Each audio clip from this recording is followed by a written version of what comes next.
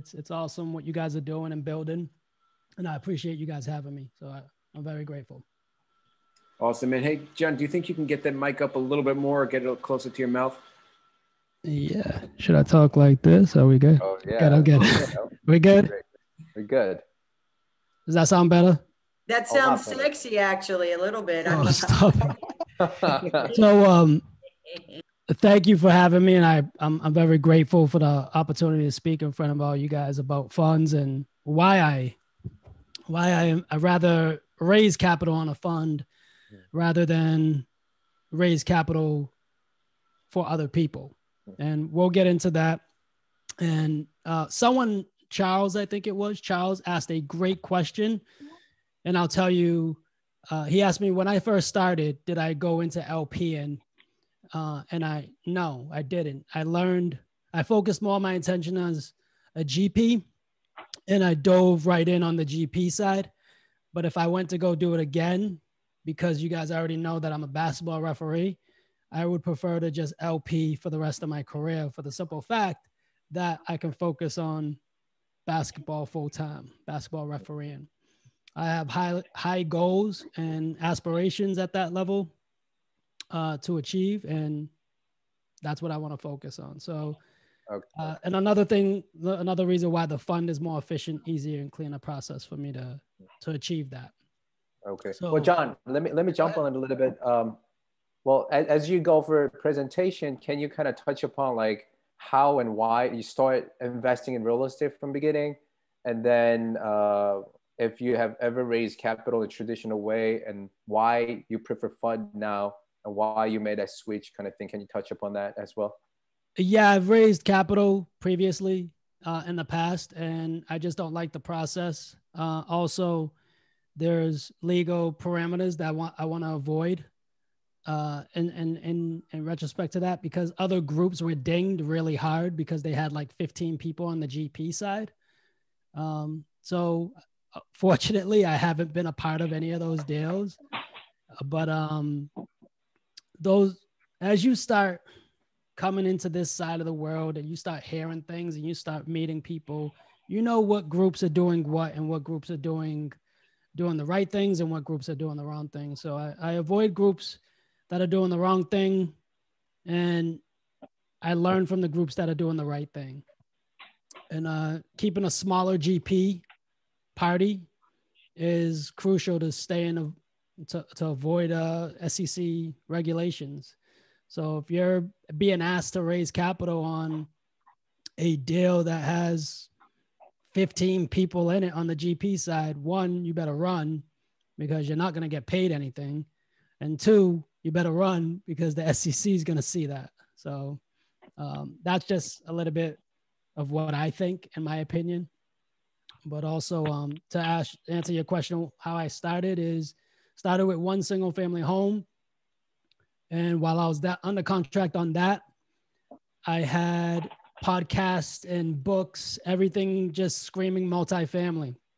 And the podcast at the time, everybody says, well, eventually you scale and you move into multifamily. I said, you know what? I'm just going to move there first.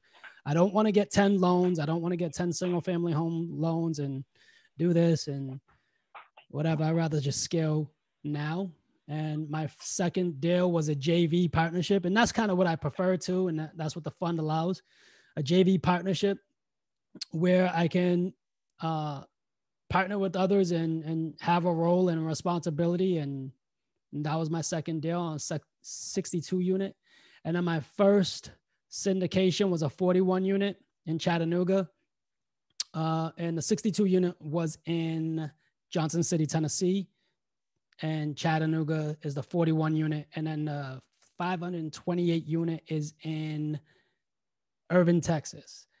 So those are my deals that I'm a part of, um, GP side, and also I've raised capital on two of those deals, and I JV'd on one of those deals, and then going forward, I'm just sticking with the fund model, and we're gonna bring the funds, acquire funds, uh, acquire our deals through the fund. So I hope that answers that background question. But now I'll, I'll dive right into the presentation. Awesome. Hey guys, if you have questions, we can do it a couple ways. He's going to be presenting. So if you want to just type questions in, we'll get to them by the end. But we're going to just run through the presentation, and I'm sure you're, you're going to have questions. And then once he's done, we'll uh, hit those questions up. So just a, a, little bit about my company. We're just a multifamily real, real estate investment firm. We only do multifamily. We don't do single, uh, we don't do um, storage, self storage. We don't do mobile home parks if I haven't invested in it personally, I'm not offering it to investors. So that's kind of how I think about it and how I go about it. Uh, this is just a, a little bit of the table of conference of contents of what to expect in this presentation. And, you know, I'll tell you about me, the team, our latest projects, services, how to get in touch and why we're here, the real estate fund. And Nico, if I um if I don't sound, if I sound too low, let me know and I'll adjust my volume. Yeah, you sound good, man. Sounds nice and clear. Uh, awesome. So a little bit about me. I mean, I think we could skip this. Um, we were Nico gave the bio, and I have a podcast, and yeah, we'll just skip that. so a disclaimer that I'm not trying to sell you guys anything. I made that very clear when I when me and Nico and Joseph were talking, I said, I don't want to sound like I'm pitching anything. I don't like sounding pitchy, so I'm not pitching anything. But this is just a legal disclaimer just to avoid all that since it's being recorded. Now, if you don't make money, if you don't find a way to make money while you're sleeping, you know, you're working till you die. And I strongly believe in that. And I think that's what we all believe in. So finding a way to create cash flow is basically all I ever look for. I look for opportunities to do that. And how I got here was when I became a basketball referee, I needed to create some cash flow because of the simple t- fact that my availability is my biggest asset. So if I'm working for Nico and Nico has a slate of games at a certain time and he gives them to me and I say I can't work those games, as an independent contractor, I lose out on those games. I lose out on that pay. I lose out on those opportunities. So going forward, Nico's going to think twice about adding me into his games rather than sending me the game and then I kick it back because I'm not available. So looking at the opportunities for cash flow, real estate really resonated with me and being able to create cash flow through, you know, the Jake and Gino philosophy, buy right, purchase right, and uh, finance right, and you'll you'll you'll be able to cash flow and uh, free up your time. And that was my biggest pain point. That was my bottleneck, and was freeing up my time. So now that I free up my time, I can go ahead and officiate basketball games at will. Uh, so in 2008, 18, I started. I started with my first single family home. Then I purchased uh, the 62 unit. Uh, that's a little bit backwards, the 41 and the 62. The 41 came after, and then in 2019 was the 528 unit, and then uh, we had a 167 unit that we partnered on as well. But um, and that was the fun. So that's that's where I'm going, and that was the last one I ever partnered on that I plan on partnering on, uh, as far as raising capital. So. I think we all know Robert Kiyosaki, and so the yeah. So reaching your goals and and and and the fund is going to help you build a sustainable business. For instance, so if I'm going to raise capital for a deal that Nico has, I'm going to get probably 3% on the capital that I've already that I've raised. So if I'm raising uh, a million dollars, I'm going to get 3% of that capital. That's how they kind of do the math on that as far as a acquisition fee, right? So I'll get that back but sometimes in the GP partnerships, your equity is really, really small. So you got to figure out how you're going to sustain your business because you got to now, now, now that you raise capital, you got to report to those investors for the life of the deal. So if the deal goes for five years, you're getting no cash flow for it from the GP side because typically in a value add deal, you are not getting cash flow until the deal starts performing. So when the deal starts performing, that's when after the preferred return, the GP can split that 70 30 split or whatever the structure is after the um after the preferred return has been met.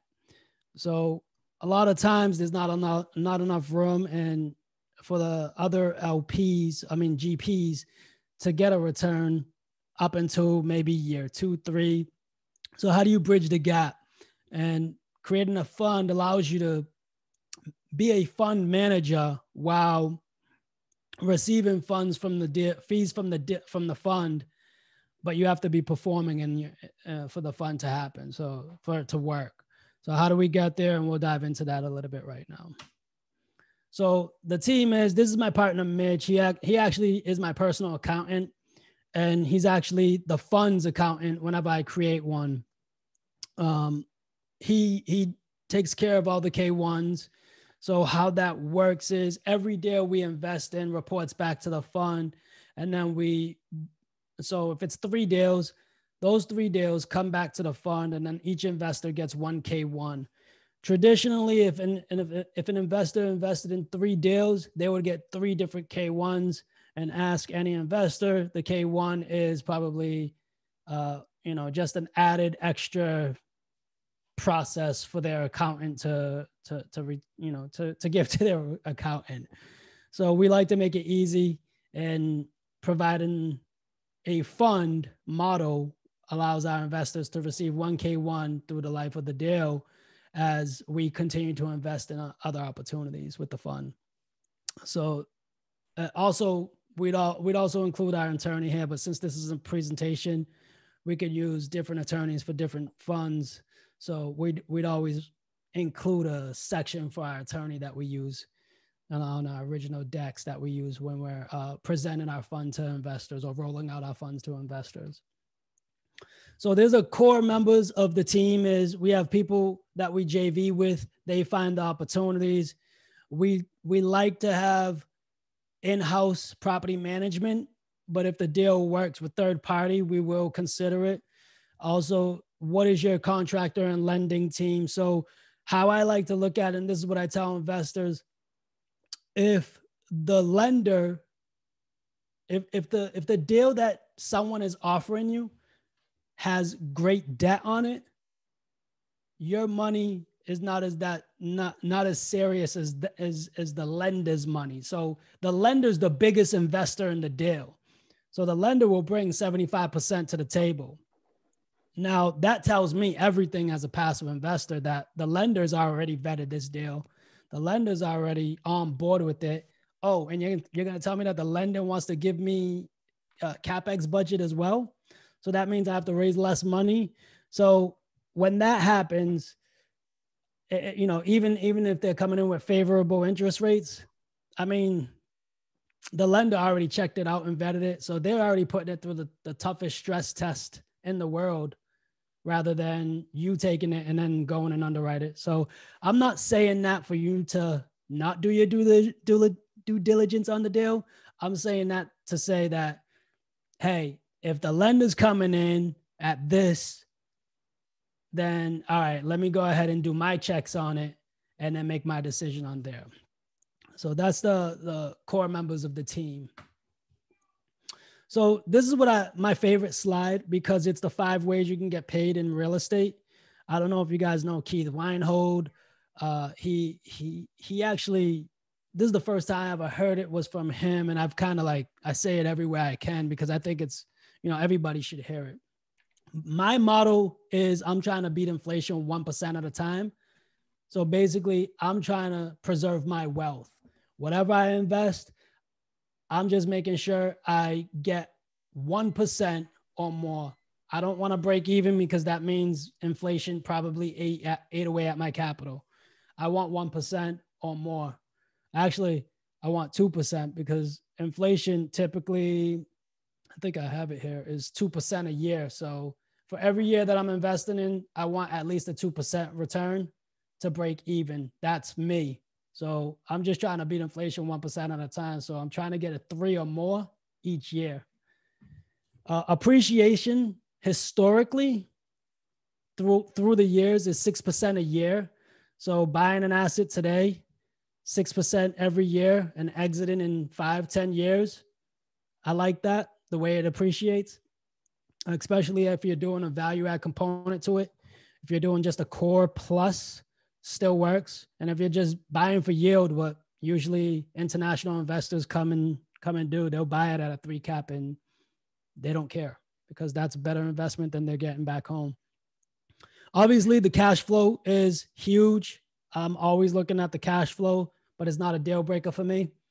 Uh, I'm always trying to look for an opportunity to to get the cash flow, um, but also uh, but also make sure the deal checks out for me. So the loan pay down is huge. That's another way you get paid in a deal because the tenants are paying down the bill, uh, the the mortgage.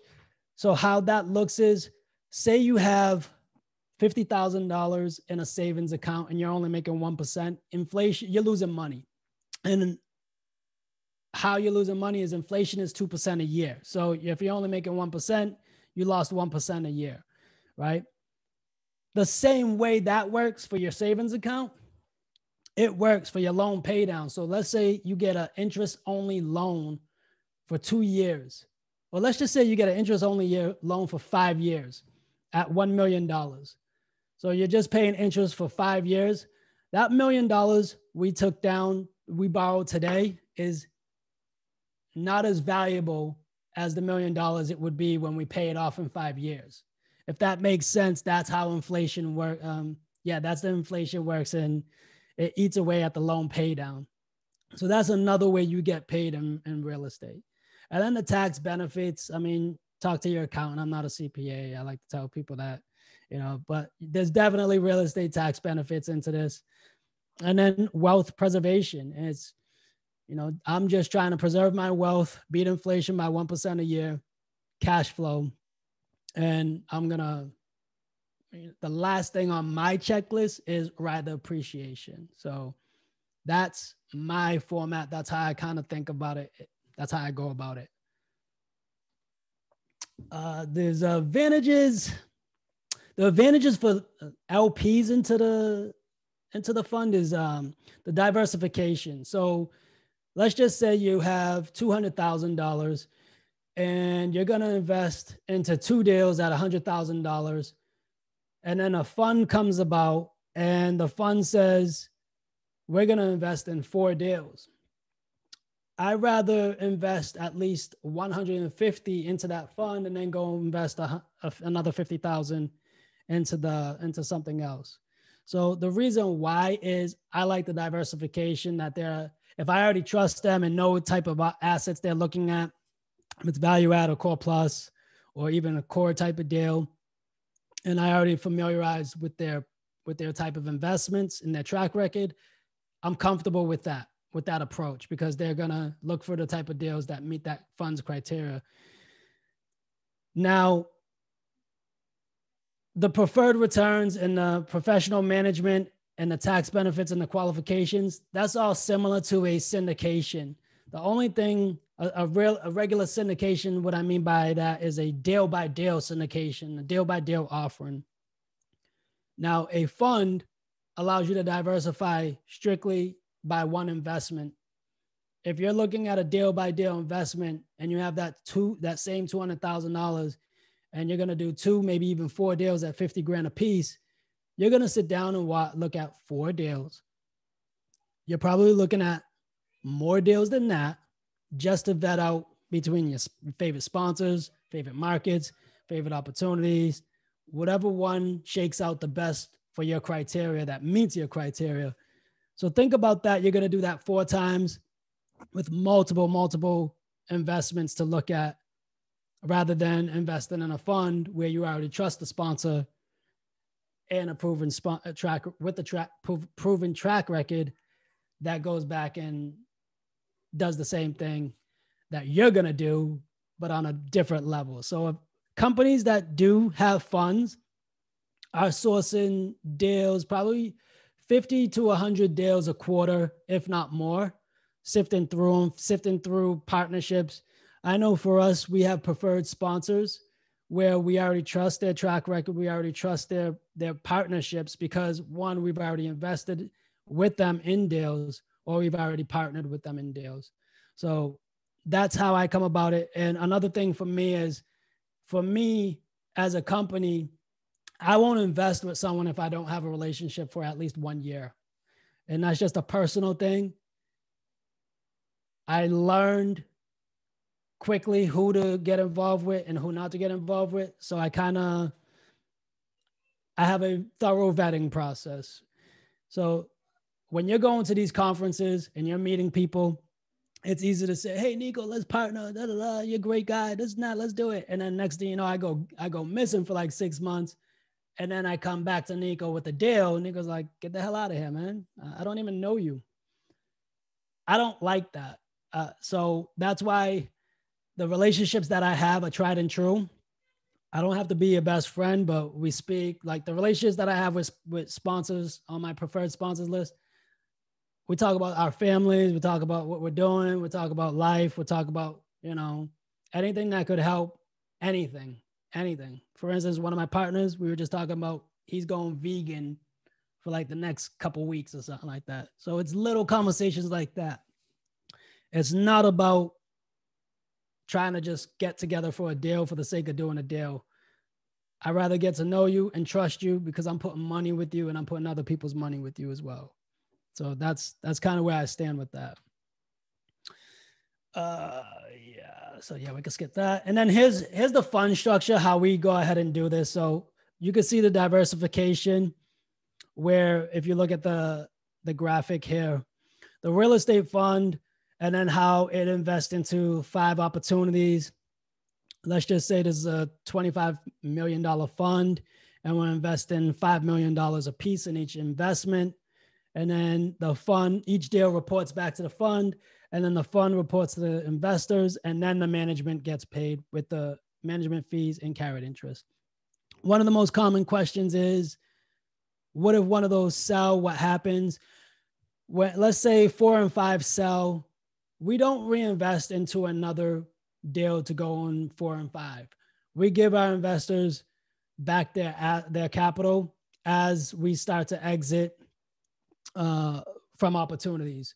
And the reason why is we don't want to make this a rolling fund. We don't want to reinvest investors' capital. We want to make sure that when we're out, we're giving it back, but also keep in mind we're looking towards the next fund, which is going to be double what we already created in the past. So if this is a $25 million fund, and as we're starting to exit, our next one is going to be a $50 million fund, or maybe even more.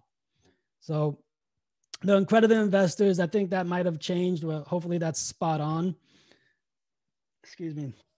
So that that I know for a fact is being discussed and talked about a lot lately in regards to, I guess it some people feel it it's a little bit dated and needs to be updated. So the SEC will go ahead and do whatever they do on that front. But th- I believe this is the last known definition that I understood from that. And um, so the funds that I typically do right now, 506Bs, if everybody's uh, if, if everybody understands syndication, there's a 506C and a 506B. A 506C is only accredited investors. A 506B is accredited and sophisticated investors, but only 35 non accredited, which is sophisticated investors, can participate in those deals. Right now, we have uh, how we're looking for how we're, how we're maneuvering right now is our first fund is a 506B and I'm take I'm thinking the next funds that we move on to are going to be only 506Cs. Not for the simple fact that well, let me dive into this. 506B, you can't advertise. You got to have personal relationships. So you got to have a a a uh, a good network. A 506C, you can cast your web, you can cast your net as far as you want to cast it through advertisings and you can client, you can go into a crowd with a megaphone and say, I have an opportunity and blah, blah, blah. You can do whatever you want to do to advertise it. But at the end of the day, you have to vet those accredited investors. So there's a process with that. You can use your attorney that'll go ahead and give you a document that you can give to their CPA, and they can their CPA can say, yes, uh, Nico is an accredited investor and we vouch for him and they can give it back to you. So you can have it on your record so that going forward, if something was ever oh if if if it was ever i guess uh what's it called audited you want to make sure you got your ducks in a row. And the investment process is basically we're raising capital. It's going right to left uh, left to right here. So we're going uh, we're raising capital for the fund and then we're going ahead and purchasing and negotiating and and jving with opportunities. And then we're doing the due diligence during that process as well oh oh yes i'm sorry this is the uh this is the process of a syndication. So normally you go ahead and you source the lead, you underwrite, it goes left to right. I'm sorry. You underwrite the deal and then you gain exclusivity and due diligence and you get it on the contract or whatever you do. Uh, you got a LOI. And then you you you get it on the, the the the purchase and sales agreement. And as you're doing that, you're steadily when you get it on the contract and you know you're in due diligence, that's when you're starting to raise capital on the deal with your investors. So the whole process of a syndication is about 60 days. And you got to have that money there at the end, or else you're going to be uh, negotiating an extension. And each time investors, uh, investors, if the capital isn't there, the GP has to pay probably a you know they got to give something up to go back to the negotiating table to to to extend. So normally if you're putting in a one or two extensions into your original purchase and sales agreement then say you need to do a third one because you're still raising capital you're probably going to have to come out of pocket some way some form shape or form to go ahead and give you buy you more time to take down the deal but the investment cycle, as far as the fund, is we're for, we forming we we can start raising on it, but we we um we get the legal documents completed and gathered, and then we can start raising. And as we're starting to raise, we go and acquire, and then we we're actually managing these these operations through the through the fund, and then we actually reposition and then exit and then we do the next fund over and over again. So basically it's a little bit different because we're getting the legal documents first and then we're going to look for the deals later. This one you're finding the deal you're getting it on the contract and then you're getting your legal documents and then you're bringing up capital. Basically you're just like trying to run through the red tape at the finish line and then taking that deep breath like yeah we did it this one, you get the capital first, and then you go and find the deals and opportunities. So it's like the chicken and egg thing. What do you want first? And a lot of people say, which one's easier? You know, have the deal and the money will come. That's a big lie. You only the money will only come if you have a huge network. And I don't care who you are. You, if you if you have a deal and you funded it, it's because you had a huge network in the background um, because you found the deal and then the money came. So don't let anybody fool you with that. Now, the investment timeline on a fund, let's just say it's a 10 year fund. You're going to spend the whole first year raising, acquiring, and looking for deals. So once you meet a minimum, so let's just say you got a $25 million fund and you've already raised 2 million, let's say 5 million. Um, actually, let's let's put that at two million. And your min and your documents say once you hit the two million dollar mark, you can start deploying it. Once you hit that two million, you can start calling down the capital as you identify assets and going and invest in it. And then you keep raising and keep going. So there's a couple ways to call down capital when you commit to a fund. And the first way is you call down capital three days after they sign the, the PPM the private placement memorandum, and they sign the subscription.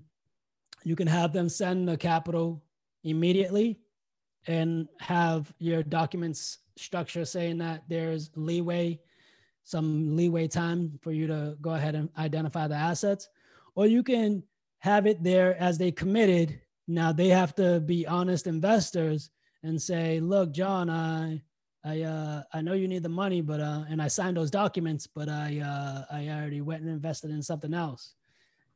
You signed those documents, you're committed and tied to that deal. So that's why uh, sometimes some people say take the capital immediately, or I have other other people that say call it down as needed. So if we identify one deal and you only need and, and someone invested a hundred thousand and your fund is already full. And the first deal is 25% of the fund, just tell everybody to wire down 25,000, uh, 25% of the deal of their uh, committed capital. And you can prorate it for any each investor just so that everybody's getting the same returns based off the capital they invested in. But there's different ways you want to do it. Everybody's got different flavors or styles. You can find your own way and process it the way you want to do it. Whatever's easier for you we're actually calling down capital um, on later deals but on the first deal we're, we're we're taking capital as we raise on our first one so Hope that makes sense. All right. Now, these are who we work with. Uh, we've just been beating the doors and getting our fund registered. And these are the type of individuals we work with. I like to work with private individuals. Um, you can go through platforms like Preqin, which has a bunch of pension funds, endowments, foundations, institutions, and insurance companies and universities looking to deploy capitals. And then I have some relationships with some family offices as well, which those are a little bit different. They like to JV partnerships. So at the end of the day, I'm going to take my fund and go and purchase. Uh, my a strategy is take my fund and partner with a family office, and we both bring capital to a deal, and then we uh, we JV into an opportunity like that. So those are different opportunities different ways. But as far as pension funds, they're always looking uh, pension funds, foundations, institutional investors, insurance companies, universities, endowments. They're always looking for opportunities to deploy capital. So usually, if you have a big fund or even a small fund, it doesn't really matter. They're looking at the, just place capital uh, out in the, into the market because they have so much of it. It's crazy uh, yeah so there's the you know obviously the the five important elements is is always the team is the most important. Who's the team? Tell me who the team is. I'll tell you if you're to win the game right? That's that's what we always think right? But then you got to play the game. So you got to have management which is to help handle operations. Who's to help who's to be on top of manage uh, your management and operations? You got to make sure you have a, a, a team member that is literally strong at that asset uh, of operations. So making sure you know how to run an op, uh, uh, an asset. And I'll give you an example. Uh, on our 62 unit, when we purchased that, we went in and those leases were month to month. If you ever purchase an asset and the leases are month to month, and you know you got to do three buildings, and I'm just giving you the ex- the example from my asset. We have three buildings, everybody's month to month. Get buildings two and three leased up to six and nine month leases, and then go empty out building one and start working on it. Because if you keep everybody on month to month, everybody's just gonna leave on the next month, and then you can't float your bills. That happened to us. True story. It happened. So we had four capital calls between us personal investors. That's why I learned the hard way and I do it with my money before I invest other people's money first. So that's a little bit of pro tip of how to handle management operations. Then you got to understand your market. Make sure you know what your market is, uh, meaning like what are the numbers? What is the PM charging? Uh, and don't try to get just cheap management just to get cheap management.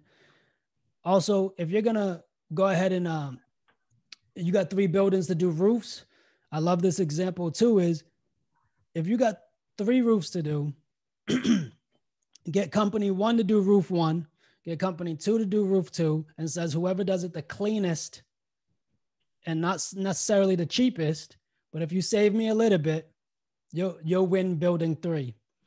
And they will literally bust their butts to compete against each other. Competition is good for everyone when it comes to business. So that's another pro tip as well. And then, you know, the preferred return and the equity, that's for your investors.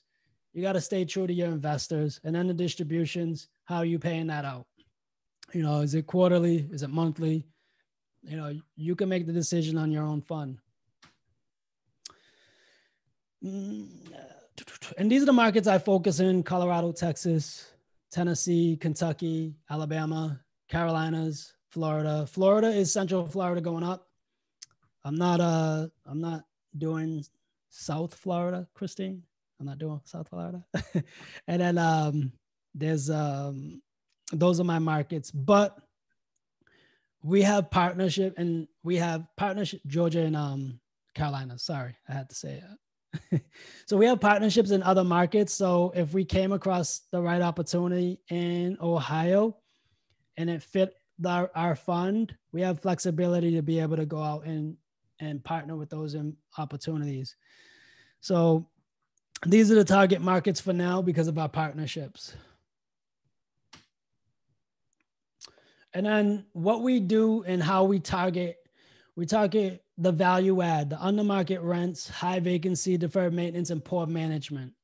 Financially distressed, the owners overpay for the property, making it difficult for them to cover their expenses. And then the physical distressed, it can't be, it can't be like an abandoned building, but the property's been neglected for years and we can go ahead and really add that value add component to it. And then the owner management distress is it's just it just makes sense right there. It's like how are they performing? How are they how are they handling their management? How are they you know they're not doing a good job. So we can go ahead and clean those up.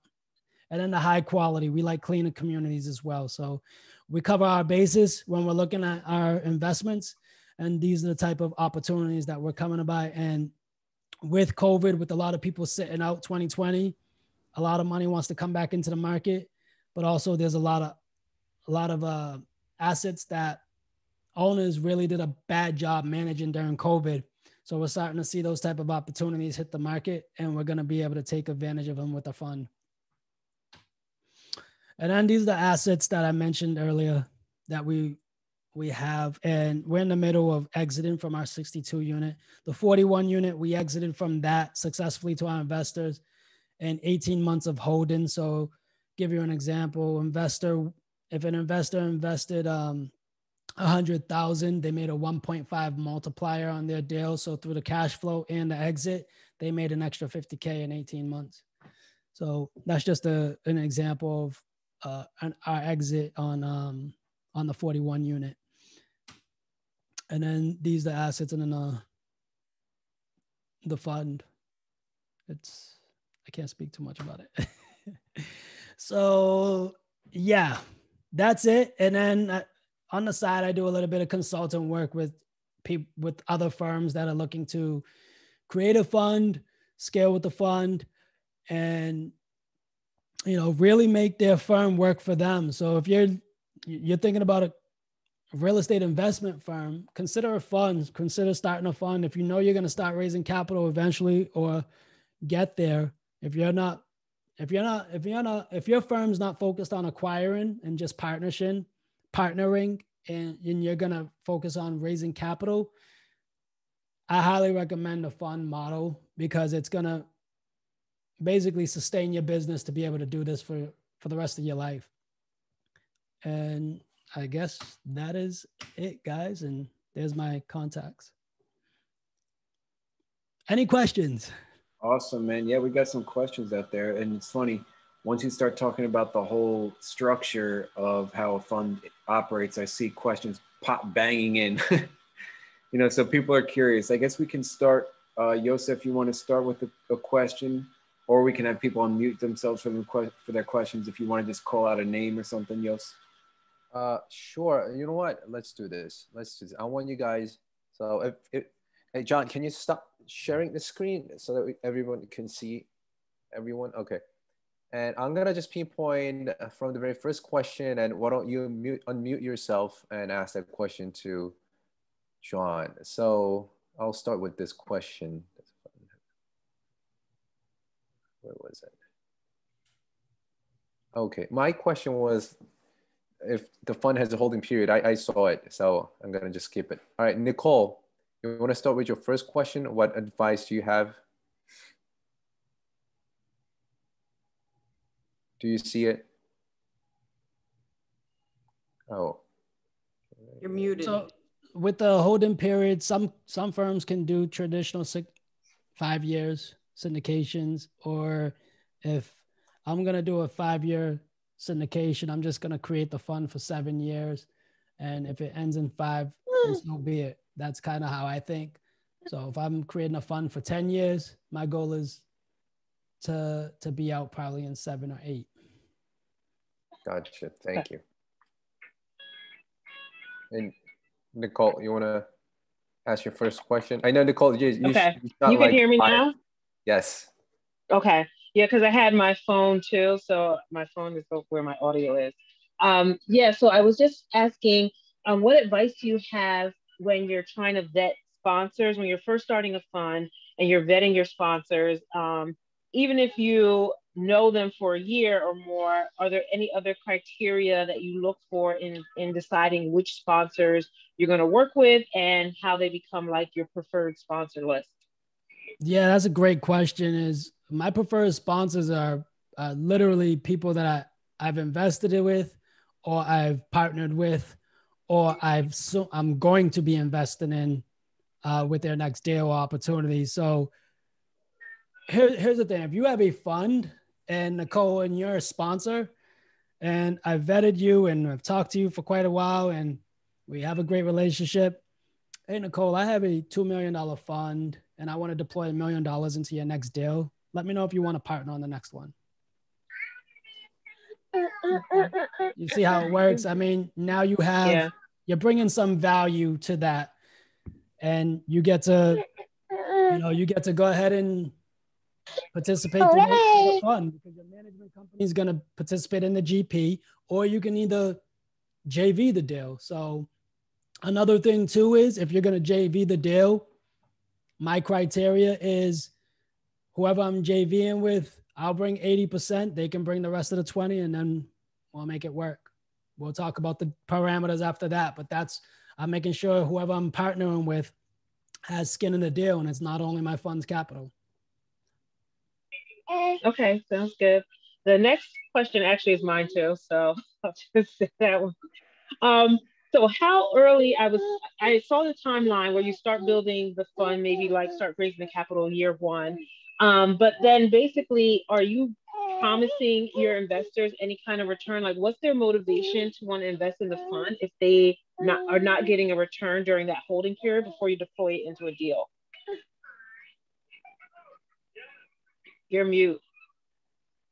Oh, thank you. It all depends on what's in your documents, right? So um, you could, we have a four month gap where we don't have to pay a return while we're holding the capital to look for the first investment. So that's what my investors are already prepared with and signed off on.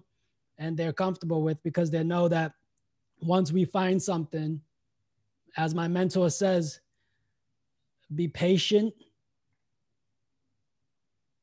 because the you know just because someone brings you something doesn't mean you have to jump on it so be be patient with investing and rolling it out and investors have to understand that being patient will be able to hit a lot more doubles singles and doubles than than anybody um, because at the end of the day we're not looking for that one home run just because we take in the capital. We're not looking to hit a home run with it.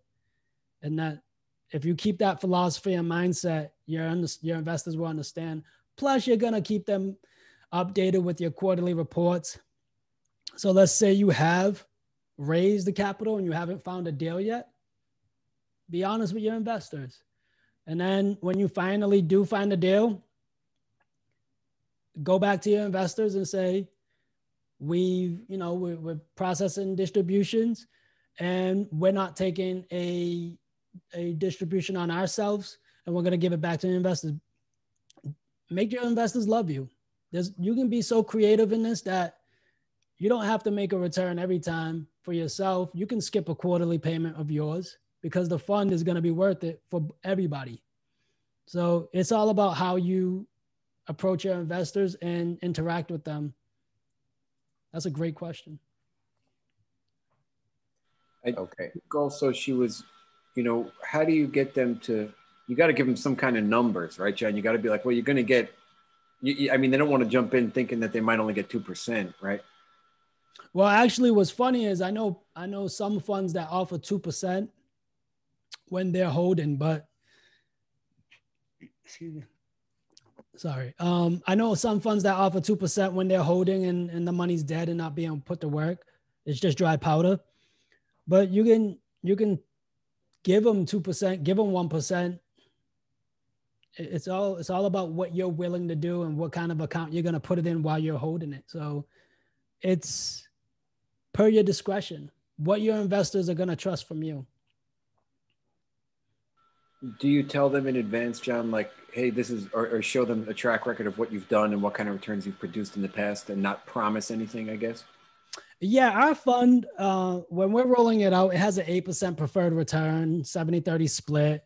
So once we get the ball rolling, uh, it's a 13% IRR at the fund level. So I always tell investors when it's when it starts looking at 13, 13% is where I start looking. And anything after that, if someone's telling me like 22% IRR, I'm like, come on, man, come on.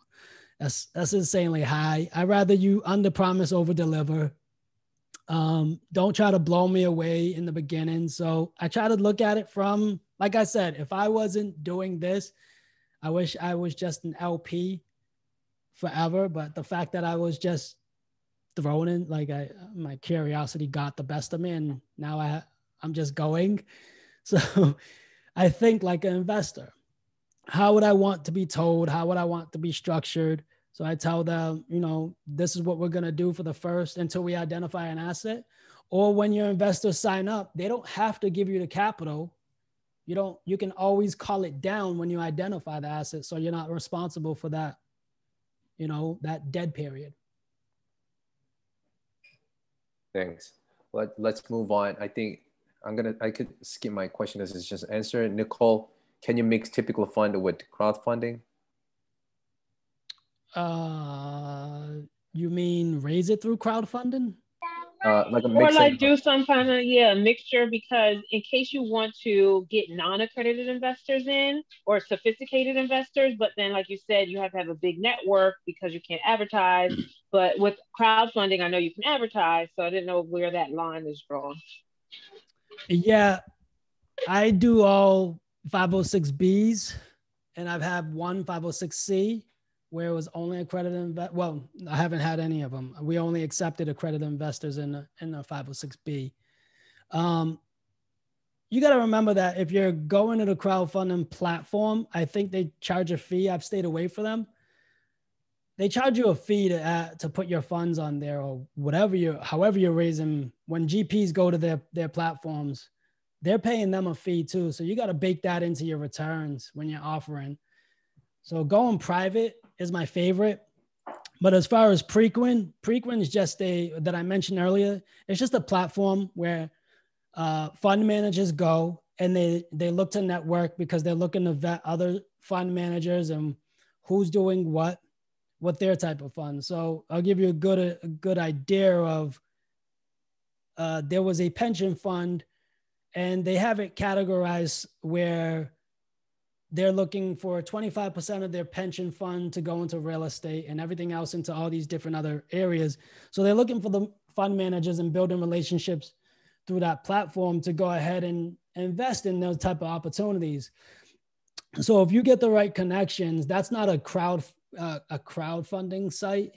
So it's more like a networking site where you go ahead and you can register your fund on, but network with these companies that have these huge, massive, you know, pension funds for schools and firemen and all of uh, name the name the industry. They're there, and they're just networking with each other, finding out who the best operators are, and trying to network and grow their their pension funds capital because that's what they do. That's that's what they're hired to do for their for their funds. So you can join communities like that, but as far as mingling, you got to pick one 506A or 506B. You can't just say, "Hey, I'm a 506B, but I'm going to put it on this pub- public platform." I, I don't know how the SEC would take to that. Thank you. Um, Patrick, you had a question? Want to speak up? Yeah, sure. Yeah, great presentation. Thanks, Jim. I just wonder what it, um, how much typically costs to start a fund um, in terms of, you know, what goes into it. Yeah, the attorney fees. So think about when you're creating a syndication, you can pay attorney fees anywhere from 10,000 to 30,000, depending on who the attorney is to create the legal documents. Uh, the syndication attorneys, if you're going ahead and doing the deal, like a deal by deal, when you identify the deal, you're putting the documents together. Typically, when you're putting these deals together, you're putting the money up front, but you're raising that back out of the deal, uh, out of the fund. So if you're if you paid an, an attorney twenty five thousand, your fund is going to pay you back that twenty five thousand. That's great. And then in terms of like any SEC reporting, like how much cost is involved with that kind of stuff? Yeah, that's a, a, a, a I believe it's a yearly expense that we got budgeted into the fund. But um, if we go back to attorney at the end of the year, say, hey, we got, you know, there's blue sky laws that you got to follow with investors with different states. And you just got to get that price up front because if you know you're going to take investors all across the country, or if you got investors just in your market, you just got to worry about your state. Got it. So it's wrapped into the fund costs. Yeah, that makes sense. Thanks. Thank you. Um, we have another Nicole question. I think Keep she coming, Nicole. Keep them coming. Yeah. Which one is this one now? Oh, I think this one was like a answer already. It's spot. your first fund. Oh, yeah. Investor comfortable. What was that? Oh, okay. Oh, yeah, that's down further. Oh, uh, yeah. How they can get um, how do you get your investors comfortable with investing if they don't know what the deals are going to be that you're um, going to potentially look for? Great question. Track record helps. Also, spon- preferred sponsor lists help. Also, the type of investments you're looking to do helps. And my favorite one is if you don't have any of those, my favorite one is these are the last four deals I've personally invested in, and these are the returns I'm making. I'm raising a fund to go and invest those type of deals also. So personal investing, a lot of people, for instance, if you came to me and was like, oh, look at the last four deals that I invested in, it's like people telling you the crypto craze, right? So, oh my gosh, I made this amount. Oh, really? How you doing that? Da da da let me know when you see another opportunity that you know you're going to jump into. It, it's just the same thing like that. It's word of mouth, and people love love when you're doing the actual thing that you're potentially pitching them on. Mm-hmm. And sorry, just to follow that up, but if you are um, the returns that you're promising for the fund, like the eight percent preferred, seven thirty split, and stuff like that are you actually like looking at deals that have a certain parameter above that so that you can still offer that return to the fund? Yeah, that's a great question. So if I'm gonna go in and and on a syndication and I'm on the management side, I'm gonna try to negotiate. So if I'm bringing two million dollars to a deal, I'm gonna try to negotiate a 10% preferred return for my my fund. Uh, hopefully, I can get that. I'll, I'll settle on a nine, maybe. But if um if I'm JV and I'm looking for a 10% return, also I'm looking for uh, you to bring skin in the game, and we're gonna negotiate based off the co- the criteria of the of the deal. So that is a very great question because you got negotiating power. So Thank John, uh, kind of a related question, and I think you, you mentioned about the uh, uh, the preferred return. In terms of the split itself between the funder and, and the sponsor, uh, what is a good benchmark? Means I've seen splits all over the places 80 20 70 30 and then waterfalls running into 50 50 and 60 40 uh, how should uh, how should we think about it? Uh, how i see it is this. This is my personal opinion. I know that there's sponsorship groups that are 50 50 that's awesome great for them um, because they they earn that their credibility speaks volumes so as long as you're getting the returns on on that type of an experienced sponsor that I'm I'm okay with that. But it also goes the other way too. If you're giving away the farm because it's your first deal, how comfortable am I going to be because this is your first deal? So a while ago, I was asked to go and raise capital for a deal where it was a 86 14% split. And they were just doing it just to and it wasn't their first deal. It was like a 348 unit and i'm just like there's there's nothing in it. No they're they're giving everything to the investors like like it's my first deal. It wasn't it wouldn't have been my first deal. And i just didn't think like for the investors yeah that's great. But why is it 84 like the numbers just threw me off. Like if it was an even 80 20 all right maybe you know i mean? I'm cool. But 80 80 84 16 86 14 whatever it was i'm like nah man uh, it's just it goes the other way right?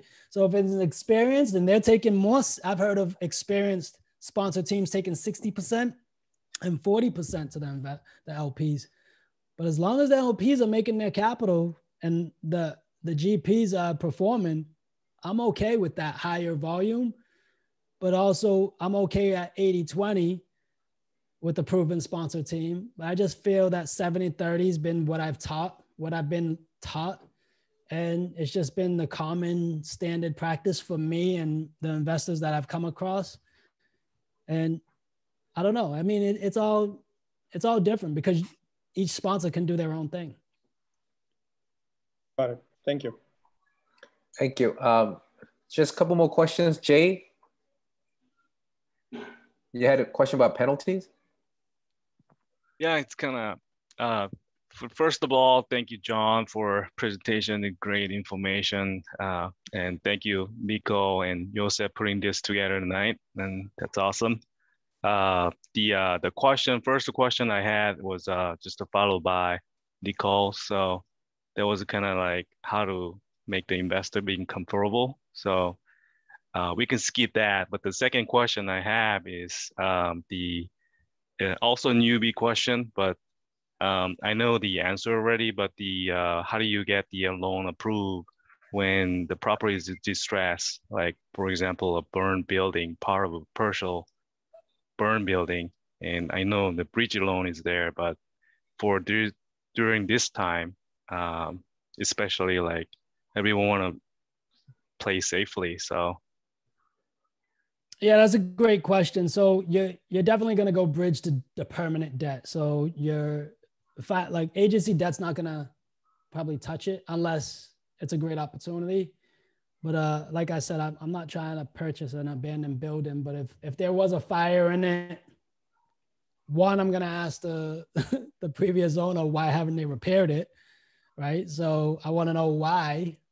What do they use their insurance money on? Have they gotten insurance money on? That tells me that if they haven't, then they don't have enough adequate reserves to be able to go and fix it while waiting for the insurance money. Um, it's just little little things like that that I'm gonna ask before going in. But say I was to be comfortable to acquire it, it's definitely gonna go bridge to perm. There's there's no there's no doubt about it. And with bridge, I'm going to try to negotiate the least amount of interest, uh, the interest rate, because typical bridge is 9%, 10. uh, trying to get that down as low as possible. If I can pay extra points on it, that'll be great. But it has to be part of the underwriting. So if um, if it fits still with the bridge with the interest rate, that that's all that matters at the end of the day.